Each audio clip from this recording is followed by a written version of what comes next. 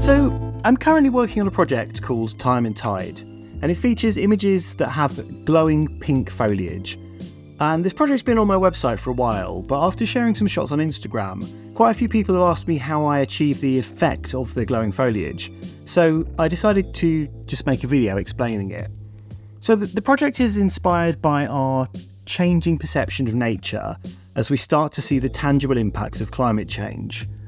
And I've used foliage to symbolise nature's resilience and its omnipresence. Um, because foliage is so ubiquitous that it often goes unnoticed. And it's constantly reasserting its dominion over us by slowly penetrating through concrete and steel and reclaiming all human made structures. So I wanted to challenge our perception of foliage. Um, so I used infrared photography to make it stand out with a kind of alien post apocalyptic feel. I've used this old Canon 1300D that I've picked up on eBay. It's had its hot mirror removed and replaced with a 590 nanometer filter, um, which means that it captures some visible and some infrared light, and the infrared light reflects strongly off the foliage. But this glow also involves significant post production to achieve. So let me show you some of the editing process that I'm using.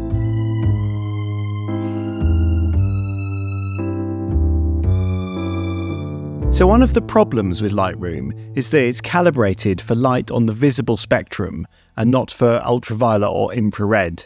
So, when you're dealing with infrared imagery, you have to do a few workarounds. So, I've opened this raw file in Lightroom. It's very red, it needs to be bluer, but the white balance is capped out because Lightroom caps its white balance at 2000 Kelvin and I can only go redder, I can't go any bluer. So I've actually made a camera profile that takes the white balance past that. But I'm not going to go into how to make that or anything like that. It's a bit complicated. So I'm going to show you an easier way. And what we're going to do is work with it as a pixel based image in Photoshop. So I'm going to hit Command E or Control E if you're on Windows to go into Photoshop. Then once we're in Photoshop, I'm going to go to the camera raw filter. So in here, we can now pick the white balance eyedropper and select something neutral. I like to select the stone and then we get a bit of a better white balance. So I'm just going to do a quick bit of tweaking just to get the contrast a bit better and it's slightly wonky so I'm just going to go to my geometry and straighten it up a bit. So that looks good to me. So the problem we have now is that we have blue foliage but we want it to be red and so we need to switch the information from the red channel to the blue channel and the blue channel to the red channel. So we're going to do that by adding a channel mixer adjustment layer. And in the channel mixer, we have red, blue, and green, and the red has 100% red, the green has 100% green, and the blue has 100% blue. That's the default, obviously. But with the red, what we're going to do is we're going to take the 100% out and put that information from the red channel into the blue channel. So now we're getting some interesting stuff happening here. And then we're going to do the opposite with the blue channel, where we take the blue information down to zero and we put that blue information into the red channel. So now we are starting to see the basics of where we want to go with this. So I'll save this and then we'll go back to Lightroom and we can see that it has updated here. And the reason we've come back to Lightroom is because we want to use the calibration. So I'm going to start by pulling the saturation of the red up to 100%, the saturation of the blue up to 100%, and the greens can come up a bit, not quite as much, maybe somewhere around there, around 40, 50%.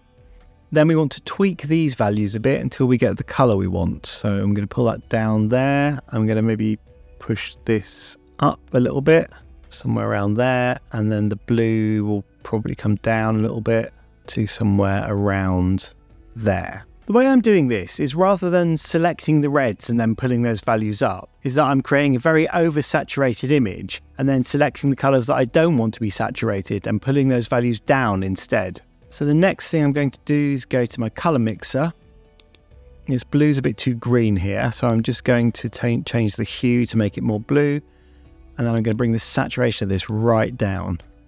So it's almost black and white, it's just very, very pale.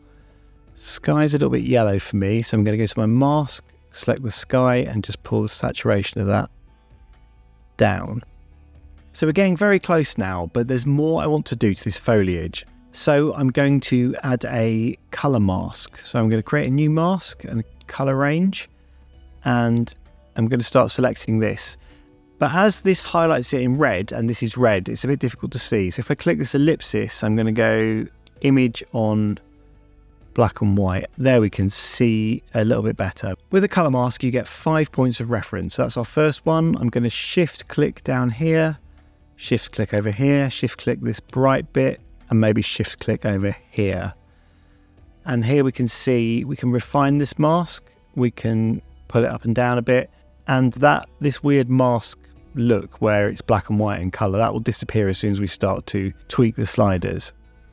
So I'm going to go to my texture and I want it to look very fluffy and soft. So I'm going to pull my texture right down and I'm going to pull the clarity down a little bit, not all the way, but maybe around there. But I'm going to push the dehaze up a bit because that just gives it a little bit more contrast. I can also push my saturation up a little bit. What I want to do is really, really push this as far as it will go before the image kind of breaks. You can also tweak the color a little bit with the and saturation. I think that's kind of good. And that's basically it for the process. I might do a little bit more tweaking, but that's kind of it. Um, how I'm going to print these is a completely different question, as this pinky red is is way outside of the CMYK color space. So I might have to look into whether it's possible to use a fluorescent ink channel in the mix or something. I'm going to have to find if it's even possible to print these. And in terms of the look, a lot of it is down to shooting in the right conditions. For the atmosphere I'm going for, I need a slightly misty or rainy or overcast day. And what this does is it allows the architecture, the walls, roads, buildings, etc., to look quite dark in comparison to the infrared light that's bouncing off the foliage. I want them to look slightly post apocalyptic, so there needs to be no people, and the foliage needs to be overgrowing a bit, and the buildings need to either be run down industrial looking places or railway lines or rivers seem to work well. I'm not quite sure why some things work and why other things don't, but the, almost the best one I found is abandoned, ornate looking buildings. I think there's something about that idea of having a perceived level of value that's just been left to ruin, where nature is reclaiming it. It, it has the right feel for me. So you do really need an infrared camera for this sort of thing.